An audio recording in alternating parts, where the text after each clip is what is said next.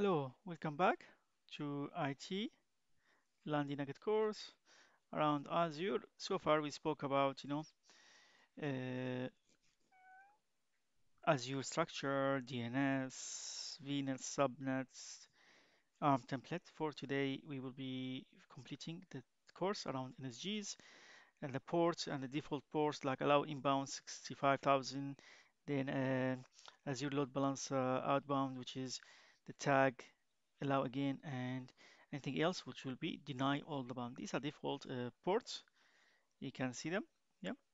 And this is for the virtual and which can be customized, you know, and the traffic priority will be from subnet level deny, NIC level deny, same thing applied to the outbound, yeah. So Azure host receives traffic, inbound traffic. Yes, go to the NSG. No, load uh, load outbound NSG rules by priority. Get first rule. Does the rule match? Yes. Deny rule? No. Last rule. Let me repeat. Azure host receive traffic, inbound traffic. Yes. Load outbound NSG rule by priority. If it's no. If it's yes, then load the inside. Yeah. Get first rule. What's the first rule? Rule match? Yes. Deny it. Allow packet? Yes. No. Drop packet. This is how it worked. Please remember that one. It's very useful. Then we go to the uh, port internet 80 wildcard from the NSG CIDR for the RDP. Same thing to the backend. This is very basic high level. How it looks like, how that will work within the same NSG or different NSG. Tools, we go activity logs, management plan, diagnostic log through the JSON, event, rule, and effective rules. You know, every 60 seconds getting collected for the events and then something like this, yeah? Event logging will look like. You can see the subnet, IPs, private endpoint, and OS, and so on. The tools you can leverage log analytics to analyze diagnosed logs. Network Watcher, you can utilize it to like examine VNet, IP, Next Hop, flow logs, and then uh, similar to something like this, yeah.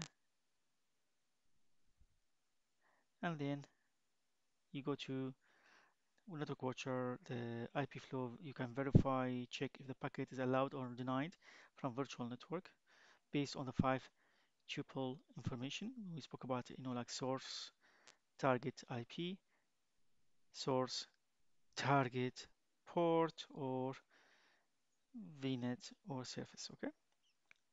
And then we can go to the NSG flow logs as well, which allow you to view information about ingress and egress, traffic through the network security group. And the last part is something like this. This is the Almighty design, and you can see the on-premise going through a gateway. From the gateway, we have the VNet, and the VNet, I go my user-defined routing, UDR, which will allow communication to my gateway load balancer, and NSG will sit outside at the VNet level, and I've got NSGs on my DMZ, and you can see availability set between two of them and then I've got my management subnet where I can place all my jump box and others. That's what I do and then underneath it I've got my public then we have the three layer like web tier business tier data tier. This is how we can divide it. So business tier they have their own availability set on VM on NSG on application gateway. Data tier on VNet on availability set on NSG basically you can see the segregation.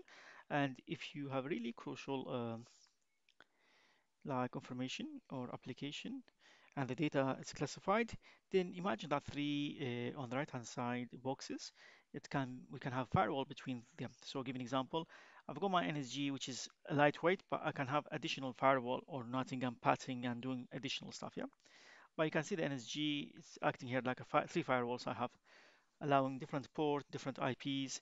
Like for my web tier, won't be able to speak to my data tier. The only method for that one to work is going through the business tier. And when you go to the business tier, I need to have the UDR, I need to have the path, I need to have the gateway, I need to allow it, and the source and target port. So you can see how, how granular we can go and how control we can apply to make sure you know we replicate what we used to do when we had uh, the old days on premise. So this is all what I had for you for today. Hopefully you have learned something useful around Azure. And next we will do a more technical deep dive into each component in more details rather than a high level one. Thank you for watching and goodbye for now.